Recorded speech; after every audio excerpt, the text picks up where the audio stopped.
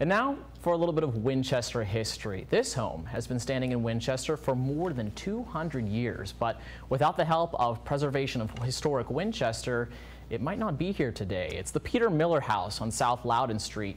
It was an addition to the Godfrey Miller House, and in 1980, the Preservation of Historic Winchester bought the house to make sure it was preserved. Many of the original characteristics are preserved, such as the log wall you see here. It's called knife carving. If when you look at it, you see how this has those deep indentations. That is a unique feature of, of the woodwork that was done in Winchester. So just like you can see a Philadelphia chair know because of this particular kind of carving, that's unique to Winchester. Now, Justine and her husband now own the home. They let people use it as a vacation rental house. Sounds like a lot of fun.